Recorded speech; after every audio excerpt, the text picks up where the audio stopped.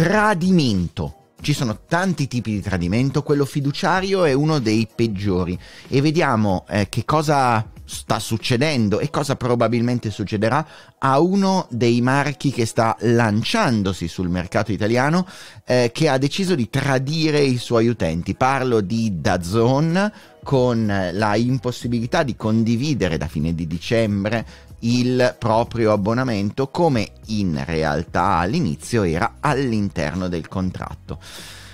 Vediamo i come, i perché, i cosa è successo e cosa probabilmente succederà. Io sono Matteo Flora, mi occupo di comunicazione digitale e di valore e questo, beh, questo è Ciao Internet.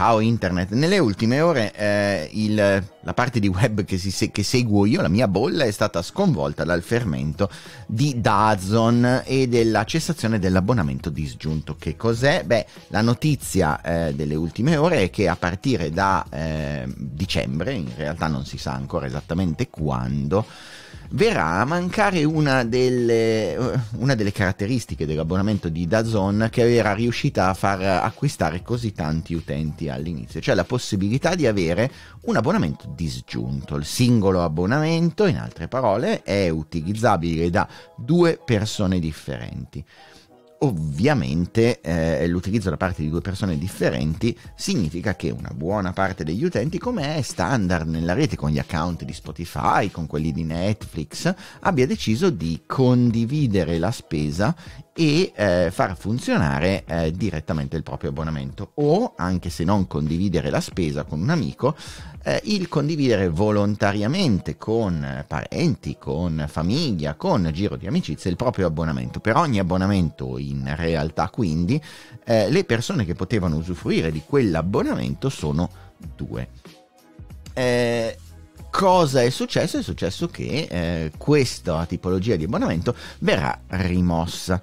Eh, al suo posto la possibilità di utilizzare quello che viene normalmente chiamato un multischermo, cioè lo stesso abbonamento è utilizzabile da due dispositivi ma all'interno dello stesso indirizzo IP, cioè connessi alla stessa rete wifi eh, ad esempio cosa che cambia significativamente le carte in tavola, da due connessioni a una sola connessione eh, e due monitor, chiamiamoli in generale così, che possono vedere la partita. Se io sono qui e eh, mio fratello, mia sorella è nell'altra camera, possono ovviamente, eh, possiamo vederlo insieme, ma il mio amico con cui condividevo l'abbonamento, che abita a qualche chilometro da casa mia o dall'altra parte del mondo, non potrà averne, eh, non potrà vedere l'abbonamento. Perché? Ci sono due diverse motivazioni che si possono dare una secondo me più corretta e non è quella che è stata utilizzata, è quella poi che è stata utilizzata per la comunicazione. Eh, ambedue hanno pregi e difetti. Vediamo la comunicazione secondo me reale. La comunicazione secondo me reale è che per ogni abbonamento che vendi, l'infrastruttura che già ha avuto una serie di problemi è carica di in realtà due abbonamenti, due indirizzi IP, due connessioni.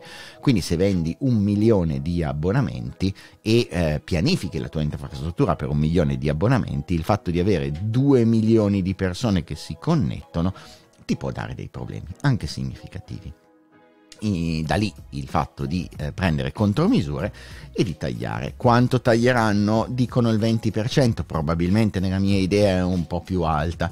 In realtà, eh, se prima avevano 2 milioni di persone connesse con un milione di abbonamenti, secondo me eh, almeno, no, vabbè, se prima ne avevano un milione e mezzo, mettiamolo così, ma la metà degli utenti condividevano l'abbonamento, adesso ritorna un, una diminuzione del 50%, oh, oddio, dal 30 al 50% del carico. Eh, che è significativa.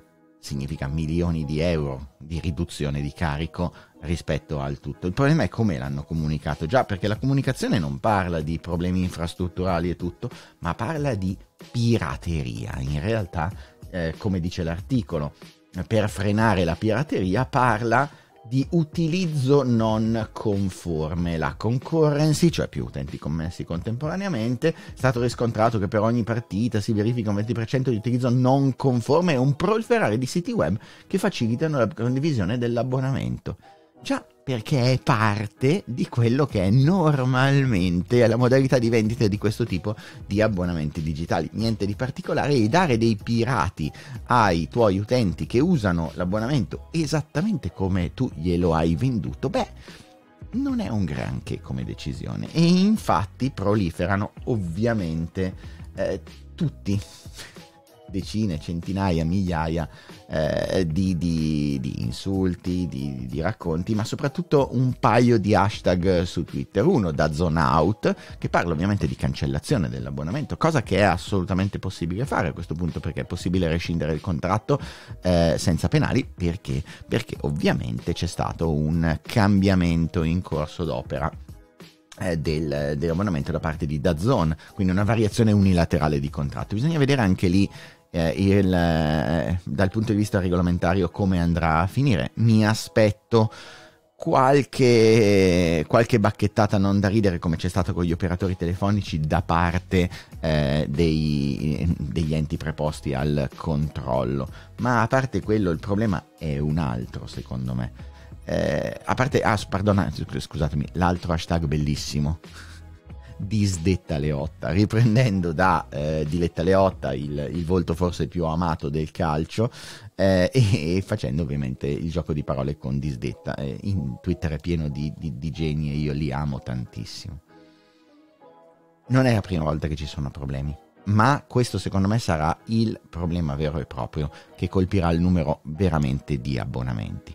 Disposto a sbagliare, ma si tratta del classico eh, errore eh, di valutazione da un punto di vista reputazionale e di valore.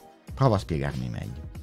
Siamo abituati al fatto che le cose possono non andare, soprattutto dai italiani siamo abituati al fatto che i problemi accadono. Quindi eh, l'idea stessa che ogni tanto una partita non si veda per un pezzettino, per un po' di più o anche un'intera partita, eh, ci siamo più o meno abituati a convivere. Siamo disposti a scusare se vediamo che cosa? Se vediamo che la situazione mano a mano migliora. Siamo animali come esseri umani eh, nati per sbagliare che dagli errori eh, sono abituati ad imparare, a crescere, quindi non ce la prendiamo più di tanto per l'errore in sé, fin tanto che abbiamo la fiducia che l'altra parte sta facendo di tutto per evitare le problematiche. Finché questa fiducia rimane nella nostra testa, accettiamo le scuse, ci muoviamo avanti, eh, magari mugugniamo, ci lamentiamo da bravi italiani, ma continuiamo ad essere fedeli dalla nostra parte a quella fedeltà che percepiamo dall'altra parte. Eh, diverso è il discorso quando qualcuno tradisce la fiducia e ancora peggio quando tradisce questa fiducia partendo da un punto di vista pecuniario. Già, perché ovviamente in questo caso il tradimento, la variazione unilaterale del contratto, portando il contratto da due persone che potevano condividerle a una sola famiglia, quindi un solo utilizzatore, è un tradimento della fiducia, ma è un tradimento della fiducia che impatta sui miei soldi. E e ancora una volta, a parte i profili eh, regolamentari e le problematiche, abbiamo travalicato il problema, abbiamo travalicato la soglia dell'errore. Ci siamo spostati come brand nella soglia del tradimento di alcuni valori fondamentali, il patrimonio, i soldi, eh, la mia possibilità di andare avanti perché poi la, la mente proietta e soprattutto l'amicizia il fatto che io avevo condiviso questa cosa con un amico, una persona. Non è detto che lo facessi, eh, anzi sono disposto a credere che non tutti o una esigua parte di questi condividessero l'abbonamento eh, per avere uno sgravio del costo dell'abbonamento, ma tanti di questi secondo me lo facevano, ma non ho numeri in merito, proprio come regalo, come fiduciario e tocco quel, quel tipo di, di, di sentire, quel tipo di amicizie e se sono disposto a dare nuove chance per degli errori, non sono disposto più a darlo per una deliberata trasgressione di un patto, un patto soprattutto che impatta su di me con le persone che conosco. E la fiducia non c'è più. La fiducia è una cosa strana, può andare avanti per tanto tempo, ma basta un fatto particolare per eroderla fuori da quel minimo che serve per fare in modo che io di questa realtà che sia il mio partner, che sia il, datore, il mio datore di lavoro, che sia un brand che utilizzo, beh, di questa realtà io non mi fido più. E secondo me è esattamente il punto che abbiamo toccato qui. Ma ancora una volta, queste sono le mie lucubrazioni, le mie, eh, le, le, le mie eh, supposizioni, sono il mio punto di vista. Raccontatemi qui sotto il vostro e ditemi voi cosa ne pensate, invece sono davvero curioso di ascoltarlo.